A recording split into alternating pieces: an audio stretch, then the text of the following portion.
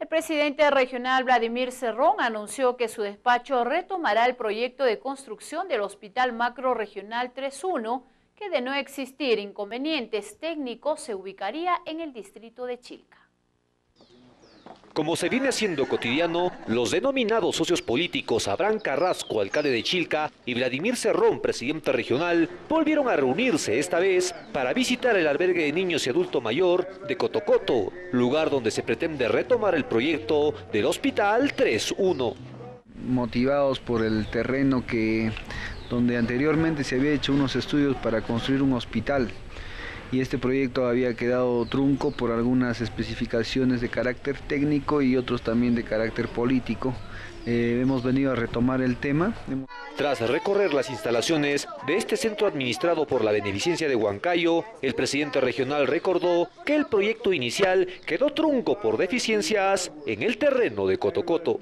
Casualmente por eso se observó anteriormente, al ser el terreno húmedo o arcilloso, eso llevaría, conlleva mayor gasto inclusive.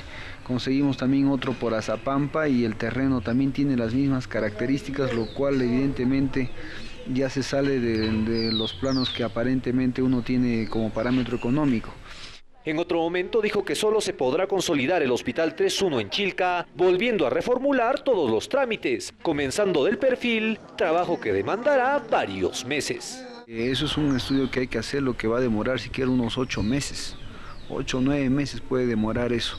Entonces eso hay que presupuestarlo al año que viene y hay que pasarlo por presupuesto participativo y como manda la ley, porque eso es un proyecto. Acá en eh, es el área, como les digo, el área de terreno más propicio, porque como les digo, conseguir terreno amplio en Huancayo es bastante difícil de finalizar con todos los trámites y contar con parte de unos 100 millones de soles que costaría el hospital, recién el 2013 podría iniciarse esta trascendental obra. La Municipalidad de Chilca, por su parte, se encargaría de construir un centro residencial del adulto mayor para reubicar el ya existente en Cotocoto. Que va a estar ubicado hasta donde que tengo entendido, Gualahuyo. Ojalá estamos tratando de, como de cristalizar y materializar esta visión y ojalá Dios mediante se logre pues bueno hacer, ¿no?